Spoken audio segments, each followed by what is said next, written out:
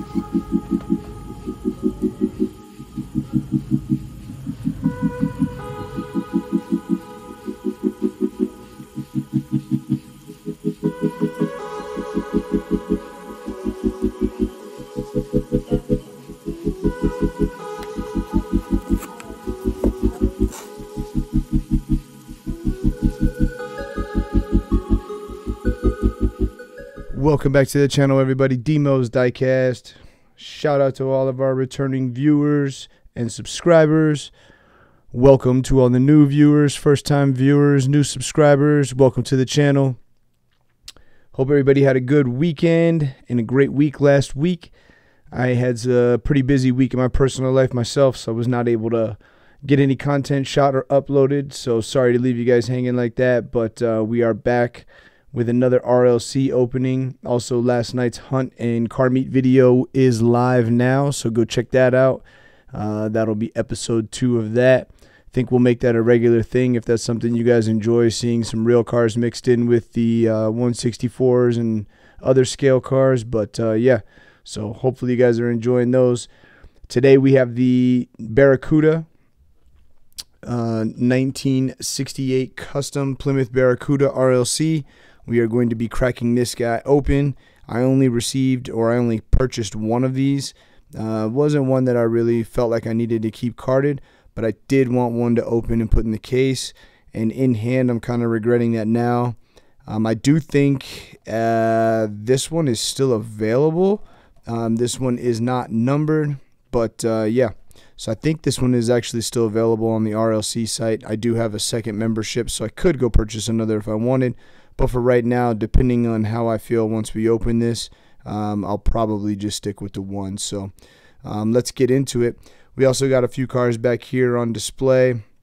We'll explain those a little bit more once we get into opening this and taking a look at its details. So let's get this out of the case first.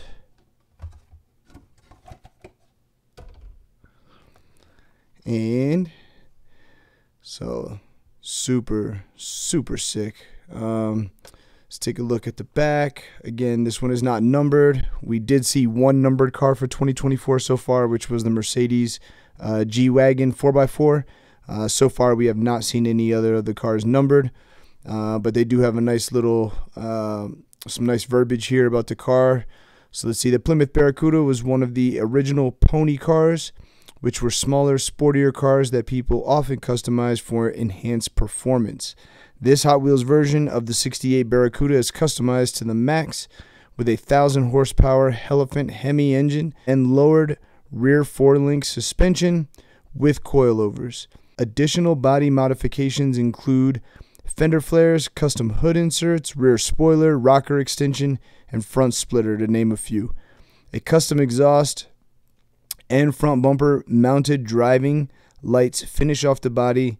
Spectraflame teal paint with white beltline straps and authentic badging create a captivating look, accompanied by five spoke Real Rider mag wheels. The inaugural casting of this 68 Barracuda for the Redline Club is one strong pony. Giddy up! So that's pretty sick. I'm gonna start reading those stories because um, they actually do tell a little bit about the design of the car. And uh, for example, this one is going to have the Elephant engine in it. So let's get this out of the package, take a closer look. And there it is. Super nice. Wow, that Spectra Flame teal is crazy. Um, I'm sure they've done another RLC and Spectraflame teal like that. I think personally, this is my only one. Um, I think the closest that I have to this color would be the Bronco Sport RLC. Take a quick look. Taking a quick glance at my loose case, the closest that I think I have to something like this would be the Bronco. Uh, but this thing is really, really, really nice. Super, super sick. Um, again, right away, that teal Spectra Flame just pops. Super nice. So, um, yeah, let's go ahead and take a closer look.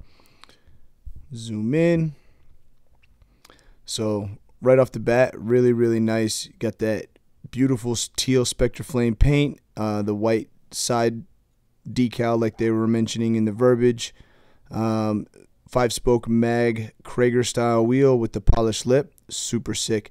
Do get the treaded tire on this one.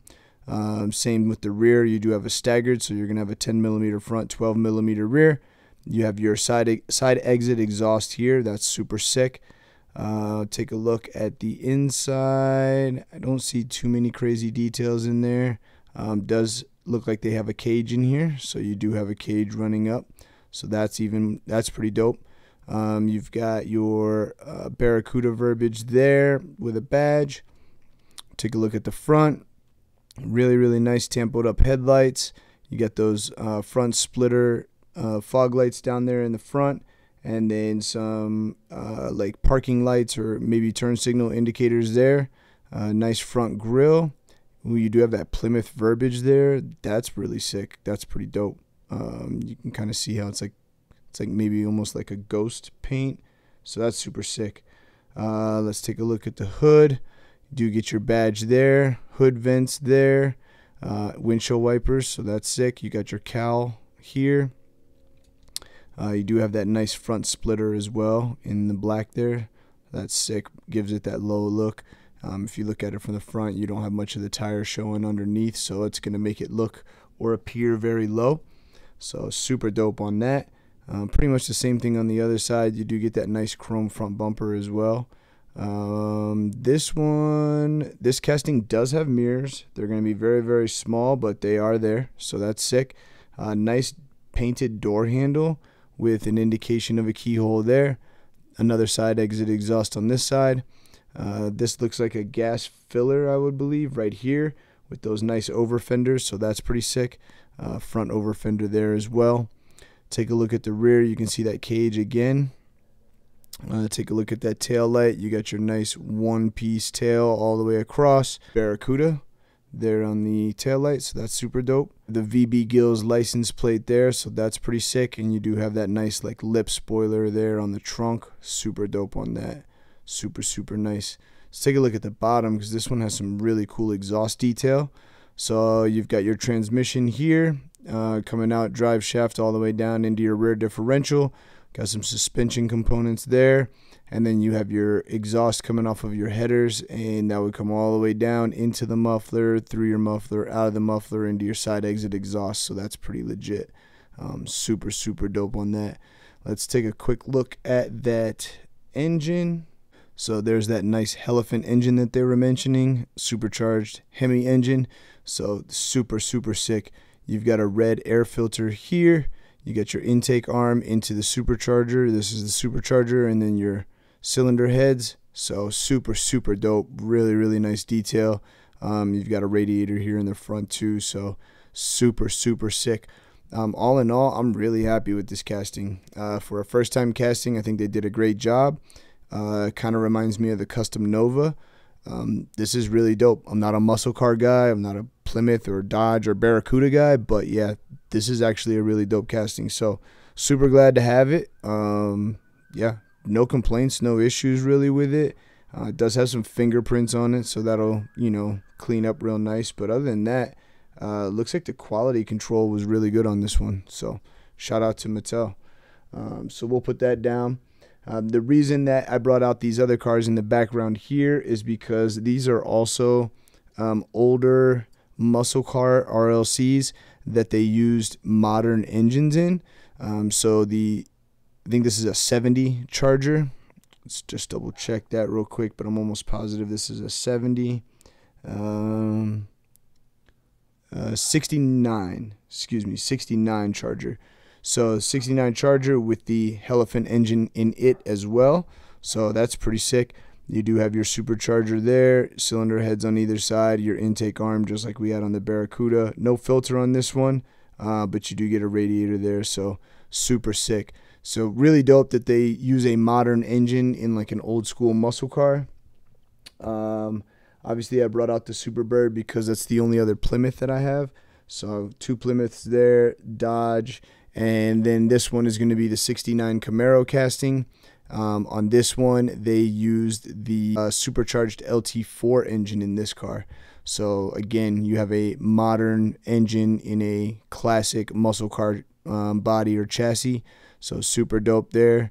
Lots of really good detail, nice detail on the engine on this one as well. So Um, all in all, really happy to add the custom Barracuda to the muscle car collection. Again, not a domestic or a muscle car guy. It's not something that I go out and get every single one, but I'm happy to add that one to the collection. And um, yeah, so all in all, super, super clean, really, really nice. Uh, if they are still available and you were kind of on the fence, again, hopefully this video provides some insight, um, gives you an idea of which way you might want to go as far as purchasing it or leaving that one for the next guy. So, uh, thanks again for tuning in, guys. We appreciate it. Um, not too long today, just a little show and tell and an opening. So, uh, make sure you guys hit that like button, comment uh, which one of these is your favorite down below and what you thought about the Barracuda casting. Either A, if you got it in person, or B, if you watched it, just witnessed it here on the video. And um, yeah, don't forget to uh, share and subscribe to the channel. So we appreciate everyone for tuning in. We will see you shortly with another one. Um, we do have some stuff lined up for most of the week, so I'm going to do my best to get a video out each night and uh, keep the content rolling. So thank you guys again for tuning in. We appreciate it, and we will see you guys on the next one. One love.